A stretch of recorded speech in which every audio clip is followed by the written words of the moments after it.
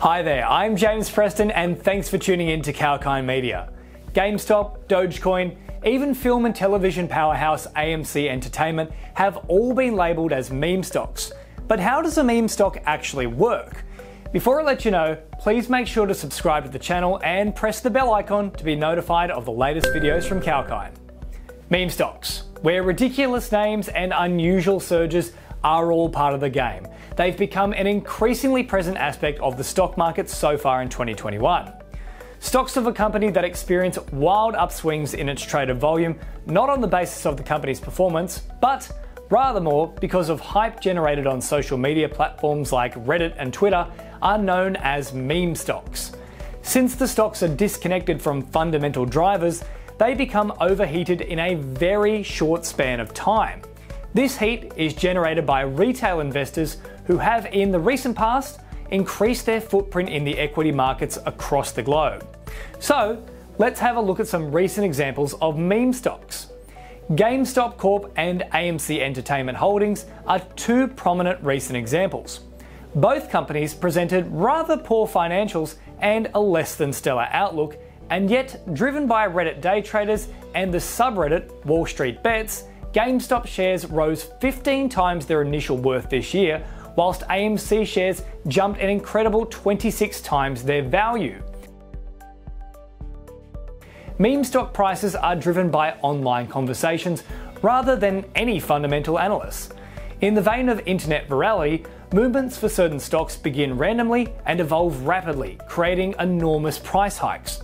Usually, these spikes are followed by a crash in stock prices as the fundamentals continue to remain weak. A meme stock cycle can be divided into four different phases early adopter, middle phase, fear of missing out or FOMO, and profit booking. At the initial stage, a small group of investors who think that a particular stock is undervalued start buying the stock in large quantities, leading to its price increasing gradually.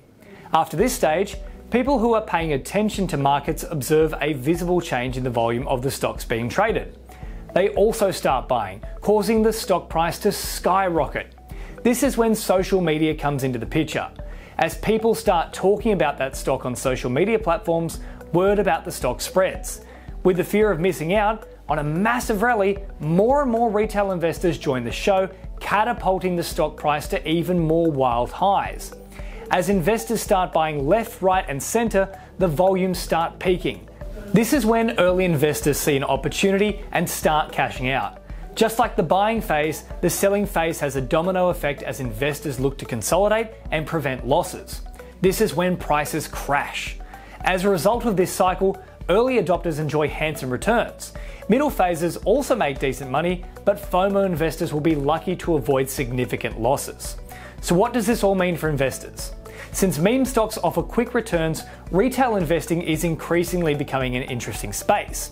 However, the increase in retail trading activity was glaring enough to prompt the US Securities Exchange Commission, also known as the SEC, to issue an investor alert, warning investors of the risk of investing in a hot stock or short term investing based on social media. So, whilst there are potential rewards on offer utilizing meme stocks as a short term investing or day trading tool, long term investment remains an inherently difficult and highly risky prospect. Perhaps the best advice I can give you is go follow Elon Musk on Twitter. But I can't repeat his most recent stock of interest though. If you've enjoyed the information in this video, then make sure to like, share, and comment on the video, and subscribe to the channel and press the bell icon to be notified of the latest videos. For more information and regular updates, please head to the website kalkinemedia.com. I'm James Preston for Kalkine Media.